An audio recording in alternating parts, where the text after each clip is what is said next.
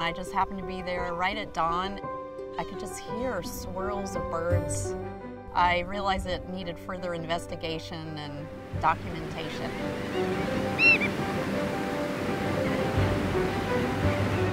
So Abbey Station at the southwest point of Deveaux, kind of on the sand spit, the very tip. We're kind of right in the middle, looking for the birds coming mostly from northeast. Here comes our first big group. Maybe about 80 just came in.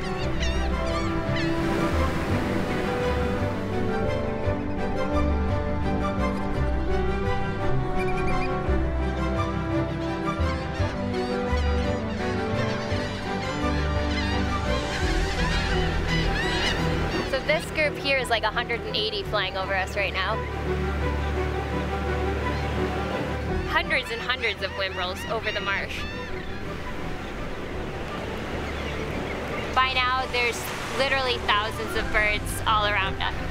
It's the craziest thing I've ever seen. We were all tallying our numbers, and it was about 19,500 birds. It's a lot of birds. A lot of whimbrel. Yeah.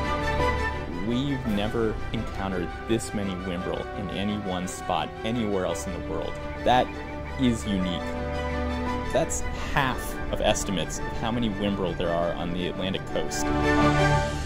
That means that Deveaux is a really special place.